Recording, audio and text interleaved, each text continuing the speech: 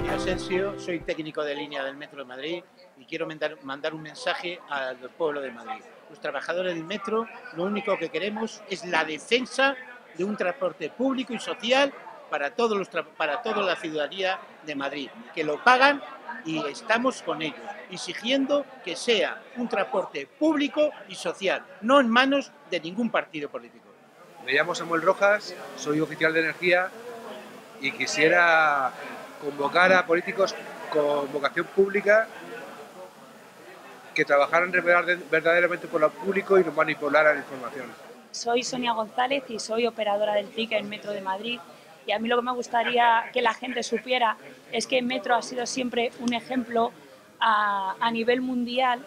Todo el mundo estaba orgulloso de Metro y sin embargo ahora se está yendo al garete. Y no es ni más ni menos que por la mala gestión de unos directores puestos a dedo que en la vida han cogido el metro, que no saben cómo funciona, que se están llevando el dinero muerto por no hacer nada, que hay algunos que ni siquiera han entrado a, a sus despachos, que según han entrado en metro se han gastado millonadas en reformar una cosa que estaba perfecta y eso no les ha importado. Soy Javier Montero, soy técnico de línea y los madrileños deberían saber que Metro se gasta todos los meses 800.000 euros en un renting de 40 trenes que están completamente paralizados desde que se trajeron hace ya un año y que no se usan. Mi nombre es Pedro Rubí, soy oficial de Metro de Talleres Centrales en Canillejas y quería denunciar el despilfarro que se ha producido en Metro de Madrid. Hasta tal punto llega que los proveedores no nos suministran material ni siquiera un mísero atornillador. O sea, la empresa tiene que ir engañando a nuevos proveedores con la promesa de que se les va a pagar para poder mm, suministrar esas herramientas necesarias para realizar nuestro trabajo. Me llamo Fernando Andrés Chicharro, soy electromecánico, trabajo en talleres centrales y la idea es que la gente conozca y el pueblo de Madrid que tenemos dresinas paradas o se nos paran por falta de gasoil. Hay una dresina que es la 501, la llamamos la millonaria, y he ido a buscar la línea cinco veces, incluso arrastrándole con un dormir y se ha roto un barrón. Muchas gracias. Soy Manuela Grimaldo, operadora del TIP, y lo que quiero es contar la, posibilidad que hay de que utilizando piezas como se están usando, piezas de trenes que están parados, se están poniendo en trenes que están en circulación y no han pasado ningún control de calidad.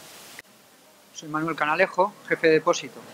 Eh, habitualmente me preguntan eh, si somos funcionarios o cómo funciona nuestro sistema. No lo somos, la gente no lo suele saber. Eh, tenemos un convenio colectivo como cualquier sociedad anónima y de hecho lo que nos hacen a nosotros, aprovechando el desconocimiento de la gente, luego les sirve para llevarlo a otras sociedades anónimas. Los recortes que a nosotros nos están haciendo, de hecho, se están ahora aplicando en sitios como IKEA.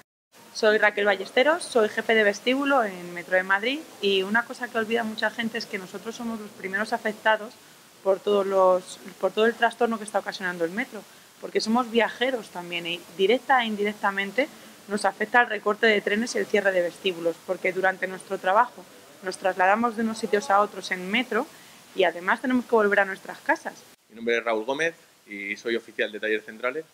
Quiero denunciar el trato que está teniendo la dirección de Metro de Madrid con los, con los usuarios de Metro de Madrid, porque está recortando los eh, trenes, está subiendo los, los, precios de las tarifas. En, en tres años me parece que han subido cerca de un 37% el, precio de las tarifas. Me llamo Alfonso Blanco, soy oficial de mantenimiento ciclo corto y yo lo que quiero es un transporte público social. Eh, tenemos la convicción de que con la tarjeta azul, fomentando el transporte gratuito con la tarjeta azul que vale 6,60 a los parados, jubilados y estudiantes con bajos ingresos, solucionaríamos el tema del transporte público.